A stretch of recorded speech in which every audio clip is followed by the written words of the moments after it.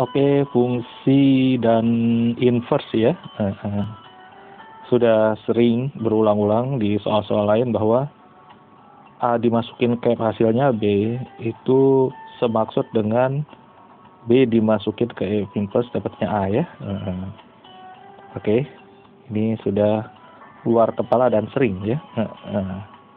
Jadi bukan hafal lagi, jadi malah udah terbiasa ya. Jadi soal nulis begini kita boleh ya bukan harus ya boleh dilihat kondisi nanti F2 sama dengan A tambah 2 gitu ya. Nah, soal nulis begini nih di sini nih.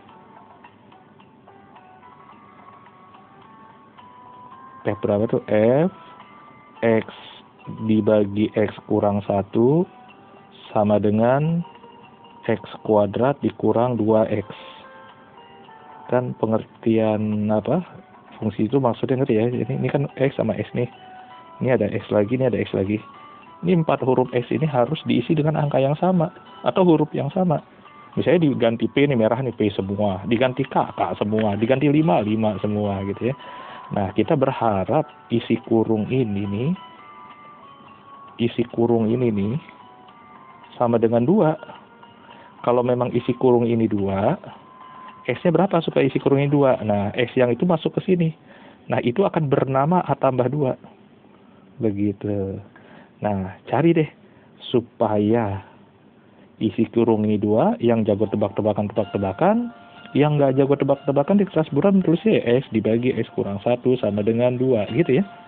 Tapi ada nggak yang bisa langsung tebak coba? Hmm, X-nya dua, pinter. Dua dibagi dua kurang satu kan dua ya sekali lagi kalau yang nggak jago tebak-tebakan ini kali silang nanti dan sebagainya dapat sini. Nah dua ini tuh langsung sana ya. Berarti A tambah dua ini akan sama dengan empat dikurang empat sama dengan nol ya. Empat dikurang empat kan? Berarti A tambah dua sama dengan nol hanya sama dengan min dua. Jawabannya yang D oke? okay?